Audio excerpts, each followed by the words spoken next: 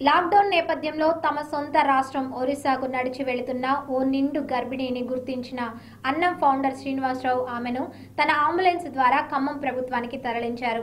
Collector ఆదేశాల మేరకు పూర్తి వైద్య సేవలు అందాక ఆమెను అన్నం అంబులెన్స్ ద్వారా ఒరిస్సా రాష్ట్రానికి పంపిస్తున్నట్లు శ్రీనివాసరావు తెలిపారు. ఈ సందర్భంగా ప్రభుత్వాసుపత్రి నుండి అంబులెన్స్ ద్వారా ఒరిస్సాకు పంపించే ఏర్పాట్లు చేస్తున్నారు. నిండు గర్భిణీతో ఉన్న మహిళ నడుచుకుంటూ ఒరిస్సా వెళుతుండగా కూస్మంచి వద్ద స్థానికులు గుర్తించి అన్నం శ్రీనివాసరావుకు సమాచారం అందించారు. దీంతో వెంటనే అక్కడకు చేరుకున్న శ్రీనివాసరావు ఆమెను సురక్షితంగా అంబులెన్స్ ద్వారా ఆసుపత్రికి తరలించారు. ఆమెకు మెరుగైన వైద్యం అందాక ఒరిస్సాలో ఆమె కుటుంబ సభ్యులకు అందజేస్తామని ఆయన పేర్కొన్నారు. तो हाँ जिला खम्मम में गवर्नमेंट हॉस्पिटल में गवर्नमेंट हॉस्पिटल में रखा है हम लोग को अच्छा देखा है अच्छा खाना पीना खिलाया। अभी हम लोग को घर भेज दे रहे हैं। कलेक्टर साहब हम लोग को बहुत देखा है कोई तकलीफ़ नहीं दिया। खाना पीना बहुत अच्छा दिया। रहने के लिए भी बहुत अच्छा रूम दिया था। गवर्नमेंट हॉस्पिटल गवर्नमेंट हॉस्पिटल में हम लोग 18 दिन था। डॉक्टर साहब। डॉक्टर साहब भी अब लोग को बहुत अच्छा देखा है। अनम श्रीनिवास सर भी बहुत अच्छा से मेरे हम लोग को हिफाजत किया है अभी घर को ले जा रहा अभी घर को लेके जा रहा है कोई तकलीफ नहीं दिया हम लोग को अभी అంటే వీళ్ళు హైదరాబాద్ నుండి వరుసని వీళ్ళకి నా పేరు కే విజయలక్ష్మి నేను లేబర్ రూమ్ ఇన్ఛార్జ్ ఈ వీళ్ళు హైదరాబాద్ నుండి వరుస వెళ్తుంటే మధ్యలో అన్నం శ్రీనివాస్ గారు తీసుకొచ్చి ఇక్కడ అడ్మిట్ చేశారు కలెక్టర్ ఆదేశం మీద. వాళ్ళని పద్- గర్భిణీ స్త్రీ ఆమెకి ఇంకా గర్భిణీ కా డెలివరీ కావడానికి వన్ మంత్ టైం ఉంది.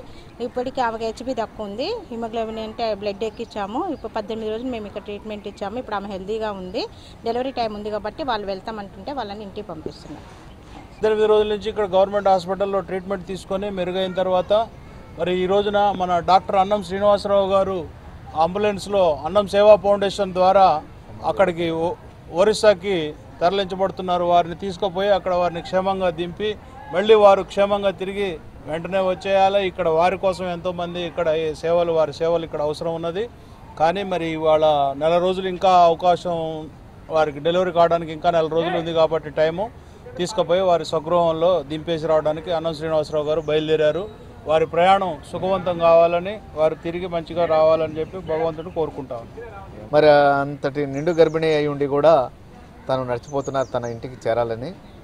మరి ఇటువంటి దుస్థితి ఆ తల్లి ప్రాణం ఉంటుందో పోద్దో తెలియదు తెలిసిన వారు మనం అలా వెళ్ళనేయటం ధర్మం కాదని భావించి తన్ని కూసుమంచి ప్రాంతంలో పట్టుకొని అక్కడ యంత్రాంగం కూడా అలర్ట్ అయ్యి మాకు అన్నం సేవా ఫౌండేషన్కి సమాచారమేగా మా అంబులెన్స్ వేసుకొని వెళ్ళేసి తీసుకొచ్చేసి ఖమ్మం ప్రభుత్వ వైద్యశాలలో హాస్పిటల్లో చేర్చి సదరు ఖమ్మం జిల్లా కలెక్టర్ గారైన కరుణామయుడు కర్ణన్ గారికి తెలియపరచగా వెంటనే స్పందించేసి ప్రభుత్వ వైద్య సిబ్బందిని ఆదేశించేసి వారికి మెరుగైన వైద్యం అందించాలి అని చెప్పి స్పెషల్ రూమ్ కూడా ఇచ్చేసి ఇక్కడున్న